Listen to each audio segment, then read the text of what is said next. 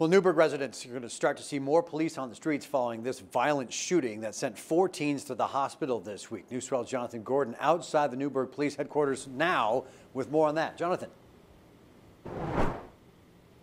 Yeah, you want an idea of just how seriously the city is taking this issue?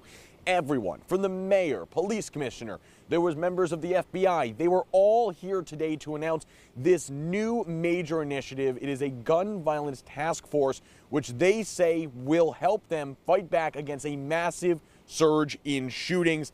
Violent crime is up in Newburgh about 20% so far this year We're talking about nearly 100 confirmed incidents involving gunshots, according to the city's police department. Really, the tipping point was Wednesday afternoon, where four teens were shot near the corner of William Street and Carson Avenue. Three of them shot in the leg, one had a couple of gunshot wounds to the stomach. Of the four, three have been released uh, from the hospital. One is still uh, in the hospital. The shooters, the suspects, still remain at large police are renewing their efforts in hotspot policing to target high gun violence areas, and they plan to expand visible police presence on the streets to, to deter these crimes. It is time for us to take charge of our city. This is our youth.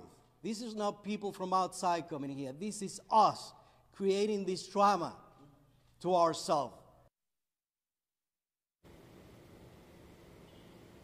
Now, this incident prompted the Newburgh School District to close down three of its campuses at the Newburgh, uh, the Newburgh Free Academy.